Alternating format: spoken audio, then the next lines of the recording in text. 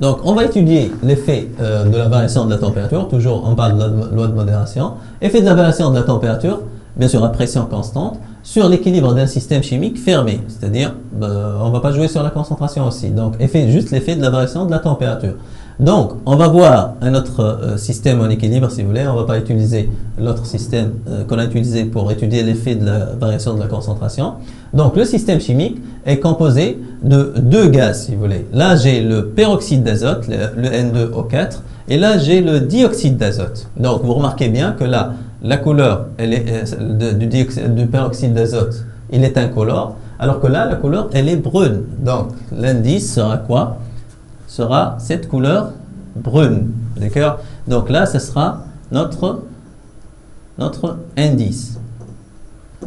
Ça veut dire, si vous voulez, si la couleur devient plus intense, donc, si vous voulez, donc, si la couleur devient plus intense, donc couleur plus intense,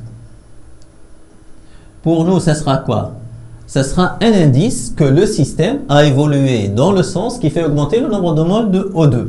Donc c'est quel sens? C'est le sens direct, donc c'est le sens 1. C'est juste un indice. Donc pour pouvoir comprendre la loi de modération et pour pouvoir conclure si vous voulez.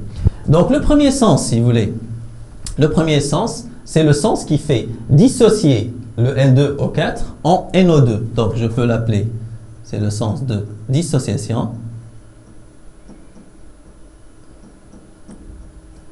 Et là, au contraire, c'est le sens qui fait former le N2O4. C'est la dimérisation ou bien c'est la synthèse, si vous voulez. Donc, la deuxième réaction, c'est la synthèse de N2O4. Bien sûr, pour étudier l'effet de la, euh, si vous voulez, l'effet de la euh, variation de température, il faut connaître le caractère énergétique, si vous voulez. Donc, il faut connaître le caractère énergétique des deux sens. D'accord? Eh bien, ce sens-là, c'est le sens endothermique. Bien sûr, automatiquement, l'autre sens, c'est quel sens? C'est le sens exothermique. D'accord? Donc, si, je répète, si la couleur devient de plus en plus intense, donc je vais conclure quoi? Que le système a évolué dans le sens direct qui est endothermique. Sinon, il a évolué dans le sens exothermique. D'accord? Donc, on va voir la perturbation. Donc, voilà. Donc là, l'état initial, bien sûr, le système, euh, l'état initial, c'est toujours l'équilibre. Donc, le système est à l'équilibre chimique. Donc, pi est égal à k. Perturbation, on augmente la température. Donc, on va augmenter la température, on va voir l'effet. Donc, vous allez voir ça euh, tout de suite euh, avec l'expérience. On va augmenter la température, on va aussi diminuer la température. Donc, bien sûr, si je diminue la température, je, je vais raisonner euh, d'une façon différente, c'est tout. Euh, c'est pratiquement, on aura pratiquement la même conclusion, si vous voulez. Voilà. Donc voilà le mélange gazeux, il est formé par le dioxyde d'azote NO2 en équilibre avec le N2O4. Donc essayez de mémoriser cette couleur. Donc on va modifier la température de ce système en équilibre en le plaçant dans l'eau chaude, donc euh, sur une plaque chauffante. Donc vous allez essayer de mémoriser cette couleur. On va plonger le système, donc le, mélange gazeux, dans l'eau chaude. Donc on a augmenté la température, c'est la perturbation. Donc suite à cette perturbation, on va essayer de voir donc, la réponse du système. Donc vous, observez déjà que la couleur devient de plus en plus intense. Donc ça veut dire que le système a évolué dans le sens qui fait augmenter le nombre de moles, si vous voulez la concentration de NO2. Donc rappelez-vous que c'est le sens endothermique. Donc la réponse du système à l'augmentation de la température est l'évolution dans le sens endothermique. La preuve, c'est que la couleur euh, devient de plus en plus intense. Donc le nombre de moles de NO2 augmente, c'est le sens 2 qui est le sens endothermique.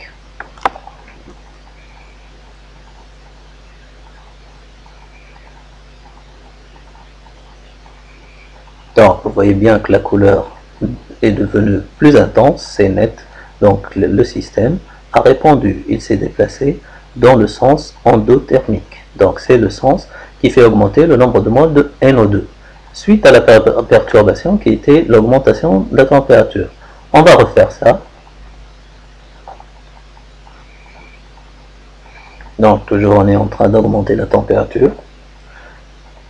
Et toujours on observe que la couleur devient de plus en plus intense. On va essayer de faire l'inverse. Donc on va le mettre, on va diminuer la température en mettant le système dans de l'eau froide si vous voulez. Donc on va diminuer la température cette fois. Donc cette fois-ci, la perturbation, c'est la diminution de la température.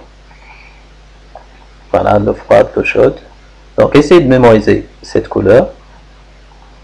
On va placer le système dans l'eau froide. Donc on a diminué la température. Donc qu'est-ce que vous remarquez? La couleur devient moins intense. On va ajouter de l'eau froide. Donc la couleur est nette là, ça devient moins intense. Donc le système s'est déplacé cette fois-ci dans le sens 1, qui fait diminuer le nombre de moles de NO2. Voilà, c'est clair. Donc le système s'est déplacé dans le sens exothermique cette fois-ci, suite à la perturbation qui était la diminution de la température. Donc l'augmentation de la température, on va refaire ça, l'augmentation de la température déplace le système dans le sens exothermique, euh, dans le sens endothermique.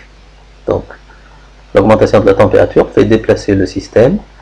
Ou bien, comme réponse, le système évolue dans le sens endothermique. C'est le sens qui fait augmenter le nombre de moles de NO2, si vous voulez, ce qui augmente la concentration de NO2. Voilà, c'est clair. Donc, la réponse à une augmentation de température, c'est l'évolution spontanée dans le sens endothermique.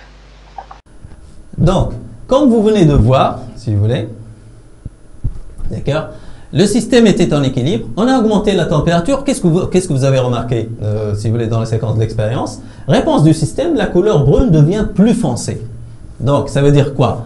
Donc, lorsque j'ai augmenté la température, donc, lorsque j'ai augmenté la température, donc, lorsque T augmente, ça c'est quoi? C'est la perturbation, si vous voulez, lorsque T augmente, d'accord? Donc, qu'est-ce, qui s'est passé? Donc, il faut toujours faire la différence entre la perturbation et la réponse. Donc, j'ai remarqué que j'ai évolution, évolution du système dans le sens, quel sens? Le sens, euh, j'ai connu le sens, si vous voulez, par la couleur. La couleur devient plus foncée. Qu'est-ce que ça veut dire plus foncée? Donc, le nombre de moles de NO2 augmente. Donc, c'est quel sens? C'est le sens endothermique, dans le sens endothermique.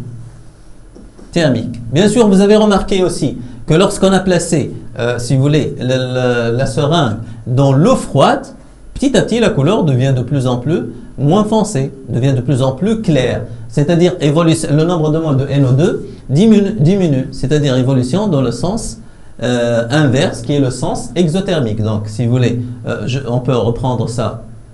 Donc, si T, si T diminue, donc, la réponse, ça sera quoi?